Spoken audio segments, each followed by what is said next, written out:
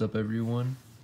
Uh, Leachman here. Today I'm going to be showing you guys how to put in special characters into your Nintendo Switch username. Uh, so as you can see right here, I've got some custom characters on mine. Um, you're going to want to scroll down to the international different uh, keyboards button. Go all the way down into what's called symbol. Okay, and now here, you've got some pretty traditional symbols um, such as the dollar sign and the brackets. But once you get down to here, you have some more interesting ones. So you've got stars, you've got circles, some cool dot patterns. Um, but yeah, so basically if you were to want to make your name... Uh.